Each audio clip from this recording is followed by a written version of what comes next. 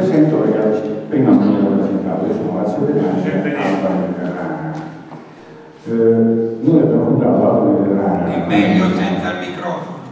Strilla ora, strilla. Alba Mediterranea 4 anni fa, 3 anni fa più o meno, per uno scopo ben preciso, e cioè per portare avanti un progetto primariamente eh, monetario finanziario e poi anche politico. E, e, quindi ecco, adesso vi romperò le scatole per una mezz'ora, spero, eh, senza farvi troppo male. Mezz'ora? Eh, e ci vuole. E ci cercherò di, di essere preciso. Devo, la, volete, la, volete, la volete la soluzione o non la volete? Noi abbiamo una soluzione. Una possibile soluzione. Dateci il tempo per potervi dare una mano. Se volete, io esco anche adesso, me ne vado, non è un problema. Allora, cominciamo dall'inizio. La moneta, al contrario di quello che ha detto l'amico prima che ha fatto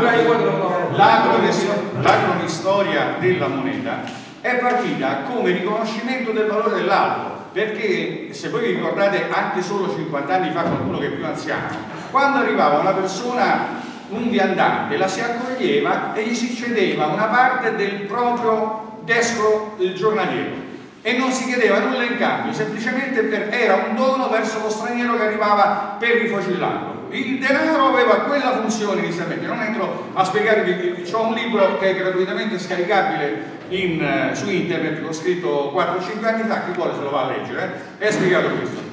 Allora, il problema quale è che tutte, eh, vi faccio un esempio, all'inizio del Novecento un operaio della Fiat che già esisteva eh, per fare una macchina ci metteva eh, circa 100 eh, giorni. Oggi un operaio produce invece circa 100 macchine al giorno, cioè significa che un operaio produce 10.000 volte quello che produceva 100 anni fa. 100 anni fa, ma senza andare a 100 anni fa, parliamo del 1960 che la gente ancora se lo ricorda bene, per comprarsi una Fiat 600 costava 600.000 lire, un operaio prendeva 120.000 lire, quindi con, 100, con 5 mesi di stipendio si comprava una Fiat utilitaria. Oggi per comprare la Fiat 500 servono 13.000 euro. Quanti anni ci vogliono per comprare una Fiat eh, 500? Più di un anno. Questo sta a dire, con tutti i debiti, eh, eh, diciamo, le debite considerazioni del fatto e de, de, di tutto il contesto che è molto più complesso di come sto schematizzando io, comunque la dice lunga sulla capacità di acquisto dello stipendio medio dell'operaio. Questo che sta a significare a sua volta? Che tutto quel guadagno che prima veniva pre presa da quella massa enorme di operai, perché la Fiat in quell'epoca nel 60 aveva circa 200.000 operai, oggi ne ha circa 100.000. Quindi questo sta dire che quella quantità enorme di denaro che la Fiat pagava a quei 200.000 operai che oggi ce n'ha 80.000, anzi forse anche un po' di meno in Italia, tutta quella massa di denaro va da qualche altra parte. Ve lo dico io, va in tasca dei signori Elkan.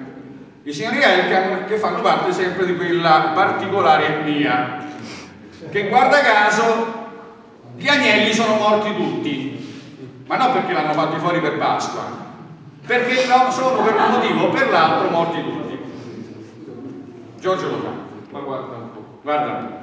Allora, che cosa sta a significare tutto questo discorso? Significa che gradualmente nel corso del... mentre fra diciamo, l'inizio della rivoluzione industriale del 1850 fino ad oggi, eh, fino a circa 50 anni fa, cioè per circa 100 anni, le masse operaie attraverso le lotte sindacali vere, incazzati, i blocchi stradali, eh, i boicottaggi e quant'altro, cosa che ho fatto anche io in qualche modo, eh, era riuscita a rapinare quello che a sua volta aveva rapinato nei secoli precedenti il nobile, perché non ci scordiamo mai che chi aveva soldi era nobile o di ascendenza o perché si comprava il titolo, quindi non è che c'era molto da, differen da, da, da, differenziare. Quindi il discorso è che i sindacati, gli operai, i, i, i, partiti politici dell'epoca, parliamo per esempio del Partito Comunista che quando era davvero ancora un partito eh, proletario e quant'altro, effettivamente avevano fatto una funzione efficace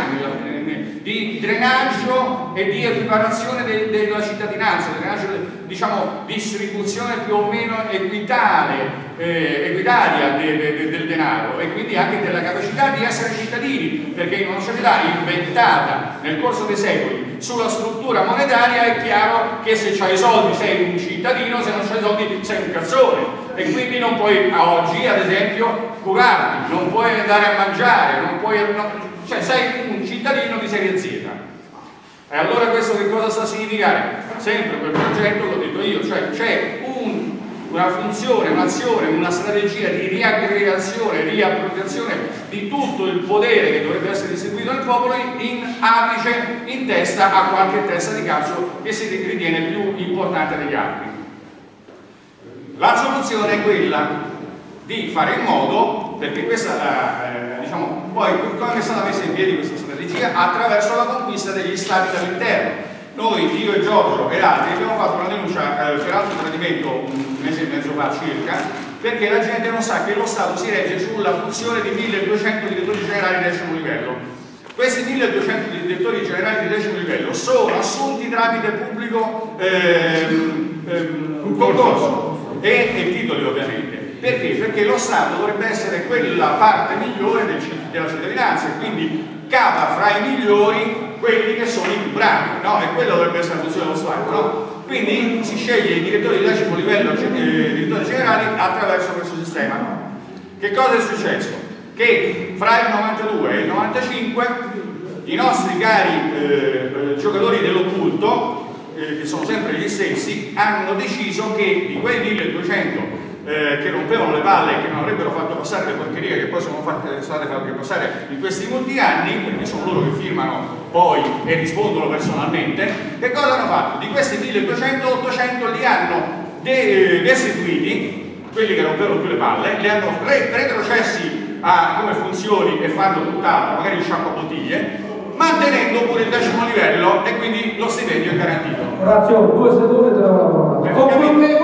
Se tu devi fare un comizio per fare queste cose, non puoi venire qua. Ma devo spiegare. Ci stiamo da fuori discorso. Orazio, no, non è possibile. Non Luca, che la gente ha fatto 200 km, viene da casa.